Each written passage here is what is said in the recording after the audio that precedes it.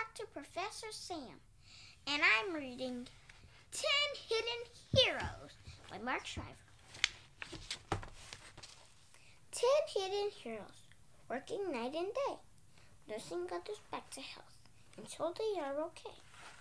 See a doctor taking a patient's blood pressure, a little girl helping a little injured cat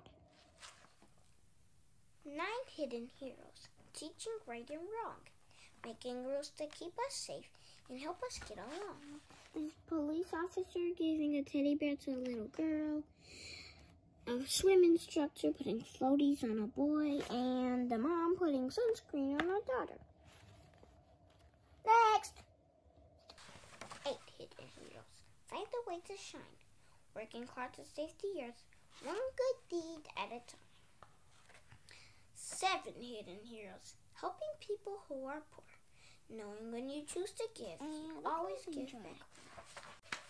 Six hidden heroes, te teaching others to read, getting books in lots of hands. That is how to lead.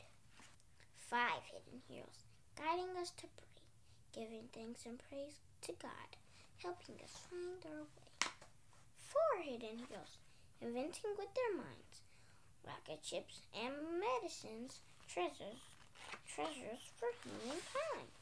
This man experimenting, this man finding codes.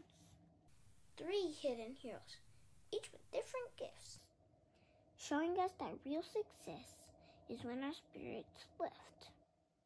Two hidden heroes, choosing not to fight, being brave by making peace and doing what is right one hidden hero. What is it you will do? It is your turn to help and heal. The way, it's up to you. Thank you, Mr. Mark Shriver. Ten hidden heroes. You can be a hero too. This seems like every time I turn the page, there's a little girl riding her bike with a with a heart on her t-shirt. See? So this is the little girl. I flip the page, who do you see right here? The little girl. She's right here at the very top. Here she is once again. Once I flip it, and there she is.